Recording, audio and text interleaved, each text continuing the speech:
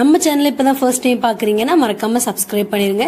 பக்கத்தில் இருக்கிற பெல் ஐக்கானை கிளிக் அப்போ தான் நம்மளோட லேட்டஸ்ட் வீடியோஸ்லாம் உங்களுக்கு நோட்டிஃபிகேஷனாக வரும். தேங்காய் திருவல் வெள்ளைப்பூடு பெருஞ்சீரகம் மிளகு. இது எல்லாத்தையும் சேர்த்து நம்ம அரைச்சிக்கலாம். திருவல் மிளகு ஜீரகம் பூண்டு இதெல்லாம் நம்ம சேர்த்து அரைக்கும் போது நம்ம கொஞ்சம் வத்தப்பொடி சேர்த்து நல்லா அரைச்சிக்கலாம். அரைச்சதுக்கப்புறம் இதை மாதிரி நம்ம எடுத்து வச்சாச்சு. இப்போ ஏரக்கிழங்கு எடுத்துருக்கேன். இதை நல்லா க்ளீன் பண்ணியாச்சு. இப்போ நம்ம இதை வேக வைக்கலாம். நான் இப்போ வந்து தண்ணியில் ஏரக்கிழங்கு ஆட் பண்ணியிருக்கேன். இப்போ இதை நம்ம வேக வச்சிடலாம். இது வேகட்டும். நம்ம வெயிட் பண்ணலாம். நெத்திலி எடுத்திருக்கோம். நெத்திலியில் வந்து நம்மளுக்கு முள் இருக்கும். இப்போ நம்ம வந்து தனியாக சாப்பிட்றோம் ஃப்ரை பண்ணுறோம் அப்படின்னா வந்து நம்மளுக்கு முள் எடுக்க நம்ம தனியாக எடுத்துடலாம். ஈஸியாக எடுத்துடலாம். மீனை முழுசாக போடுவோம். இது வந்து அப்படி கிடையாது. நம்ம ஃபுல்லாகவே அது வந்து மீன் வந்து இருக்க போகுது அப்படின்னா முள் இருந்துச்சுன்னா ரொம்ப ரொம்ப கஷ்டமாக இருக்கும் சாப்பிட்றதுக்கு. ஸோ அதுக்கு ஈஸியாக இருக்கிறதுக்கு நம்ம வந்து முள்ளை இப்போ வந்து எடுத்துடலாம்.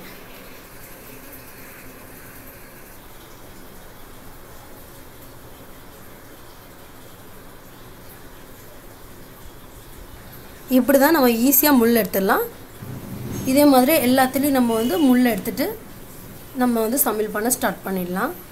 கிழங்கு நல்லா வெந்துட்டுருக்கு. நம்ம தேவையான அளவுக்கு சால்ட் ஆட் பண்ணி நல்லா பாயில் பண்ணலாம். கிழங்கு நல்லா வெந்துருச்சு. இப்போ நம்ம அதை எடுத்துடலாம்.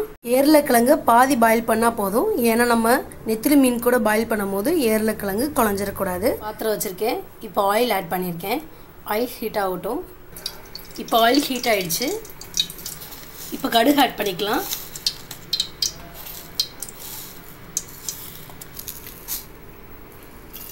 இப்போ கருகப்பில் ஆட் பண்ணிக்கலாம். நம்ம ஆனியன்ஸ் ஆட் பண்ணிக்கலாம். ஆனியன்ஸ் ஆட் பண்ணிவிட்டு நல்லா வதக்கிக்கோங்க. இப்போ தக்காளி ஆட் பண்ணிக்கலாம். நான் ஒரு தக்காளி எடுத்திருக்கேன். சின்ன சின்னதாக கட் பண்ணி அதையும் ஆட் பண்ணி நல்லா வதக்கிக்கோங்க.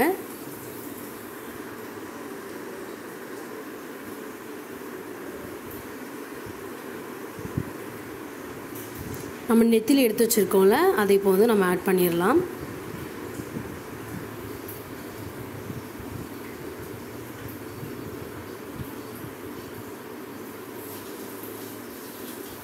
நம்ம தேங்காய் தர்கள் எல்லாமே அரைச்சி வச்சுருந்தோம்ல அதையும் சேர்த்துடலாம்.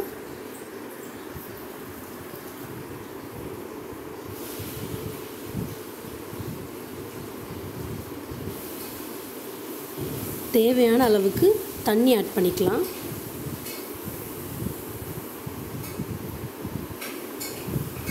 தண்ணி ஆட் பண்ணி நல்லா மிக்ஸ் பண்ணி விட்டுக்கோங்க. இப்போ தேவையான அளவுக்கு மஞ்சள் தூள் சேர்த்துக்கோங்க.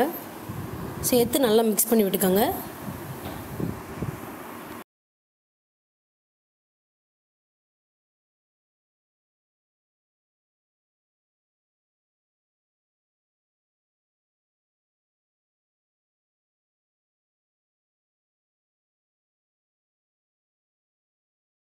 தேவையான அளவுக்கு சால்ட் சேர்த்துக்கலாம்.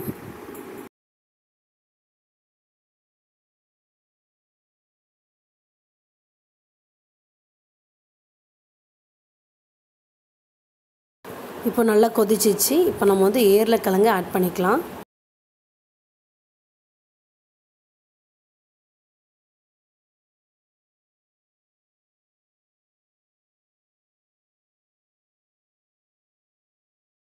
எல்லா ஏரில் ஆட் பண்ணிவிட்டு நம்ம வந்து நல்லா மிக்ஸ் பண்ண ஆரம்பிச்சிடலாம்.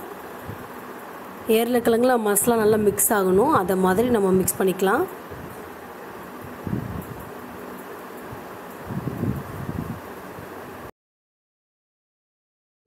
இதை மாதிரி ஸ்லோவாக மிக்ஸ் பண்ணிக்கலாம். இல்லைனா நெத்திலி மீன் உதிர்ந்துடும் அதனால் கொஞ்சம் பார்த்து மிக்ஸ் பண்ணிக்கோங்க.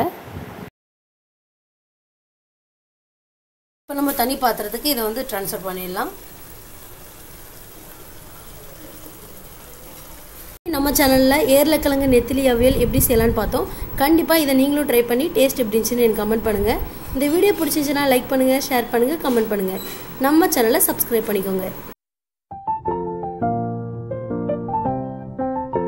தேங்க்ஸ் ஃபார் வாட்சிங்